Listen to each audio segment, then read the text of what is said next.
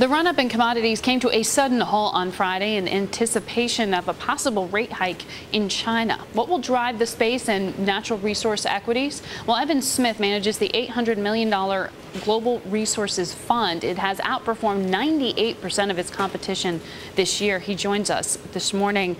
Uh, so, Evan, oil, gold had strong selling on Friday, uh, a little bit of a bounce back in today's session. Are you buying? Yeah, we, we think we should be buying uh, any pullbacks. Uh, we remain constructive on commodities pretty much across the board, uh, particularly oil, gold, copper, and um, some of the ag plays. So uh, what is it? I mean, if we're back to fundamentals this morning, what is it that can drive some of those pullbacks? Is it just fears that China's slamming, not tapping the brakes, or is this all the Forex market? Um, a little of both, probably. Um, sure, there's been a good surge in the uh, in the Chinese market, and um, you know, demand demand in China drives a lot of commodity uh, demand, global demand ar uh, around the globe, right? And so, um, you know, any any thought that they might be pausing or trying to slow down their economy, um, usually you see some some selling, some profit taking in the commodities, but. Um, we, have seen those pauses create great buying opportunities. Earlier this year, back in uh, May, after the uh, Chinese government was pretty, uh, pretty, pretty direct on trying to cool their their hot uh, housing market.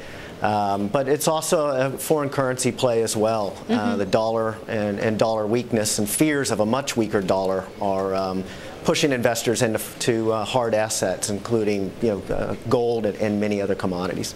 So, uh, since you buy the equity side of the commodity space, uh, translate some of the uh, forex fluctuations into uh, what is going to mean for earnings, because we've seen the run up in the currencies of commodity-producing countries, but then this weaker dollar might make it tougher when it comes to to repatriating some of that. So. Sure, sure. You know, it depends on where you're buying and, and, who has commodity or at least currency sensitivity on the cost side for some of the commodity producers. Right. Um, obviously, any, any of the commodity producers who are who their costs are in U.S. dollars are actually going to see an improvement in profits. Um, so we we like. Um, uh, several uh, names in the oil, the mining space, uh, even the ag space right now. Uh, so now that BHP abandoned uh, the, the, the, potash bid, does that change your outlook there, either on uh, that particular space or, or those companies? Uh, know, the potash, uh, very interesting story. I think the you know, BHP bid obviously brought um, you know, a lot of attention to that story and, and maybe the fundamental long-term strategic nature of potash. Um, one of the names we like actually is CF Industries. It's the uh, largest uh, nitrogen producer here in North America. You've got great uh, economics for nitrogen production. They're going to see 50% earnings growth in 2011.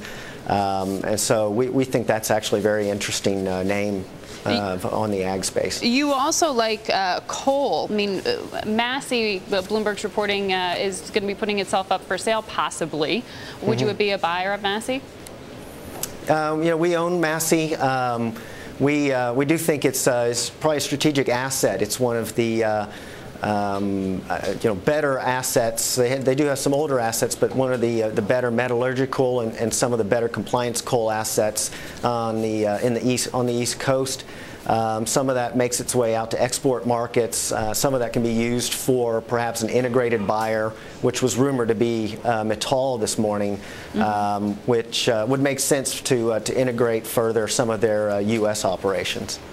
All right. Uh, thank you so much, Evan, for joining us this morning.